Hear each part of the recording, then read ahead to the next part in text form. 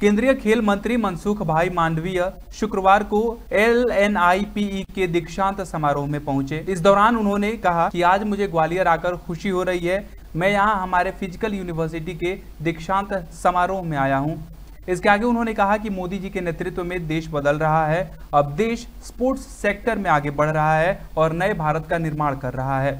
उन्होंने कहा कि अब भारत 2036 में ओलंपिक होस्ट करने जा रहा है। साथ ही आने वाले दिनों में हम हमारे देश की स्पोर्ट्स सेक्टर की नई जनरेशन को तैयार करने में महत्वपूर्ण भूमिका अदा करेंगे। ग्वालियर से योगेश बिसारिया की रिपोर्ट।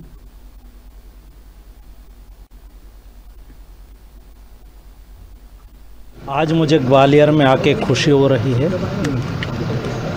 राजमाता सिंधिया जी की एक कर्मभूमि रही है। और यहाँ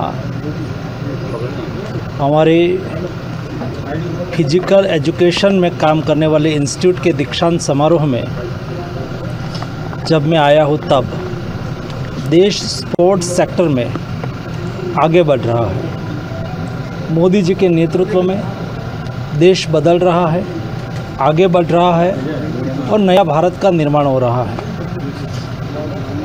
जब भारत 2036 में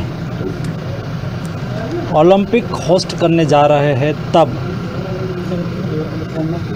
आने वाले 10 साल में देश को स्पोर्ट्स सेक्टर में अंतर्राष्ट्रीय कक्षा में एक से दसवें स्थान में आना है।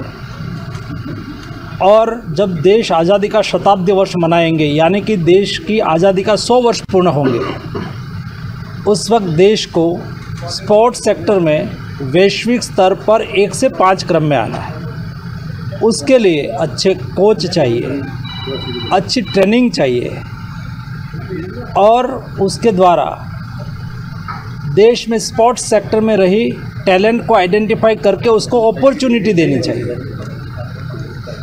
हमारे संस्थान में ऐसे अच्छे कोच निर्माण करने का कार्य चल रहा है।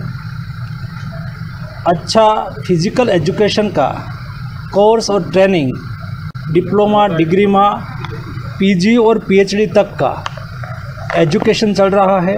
वो आने वाले दिनों में हमारे देश की स्पोर्ट्स सेक्टर की न्यू जनरेशन को तैयार करने में महत्वपूर्ण भूमिका अदा करेगी।